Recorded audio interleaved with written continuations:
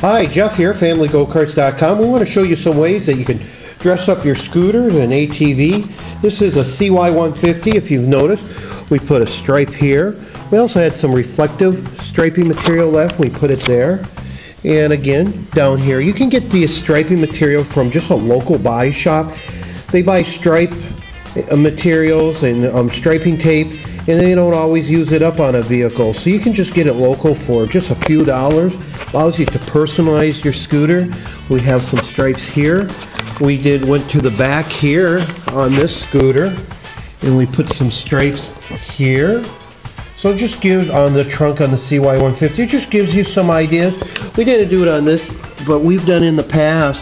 Puts a stripe down on the side. Again, you can get the stripes from a local body shop, and um, just give your scooter its own design.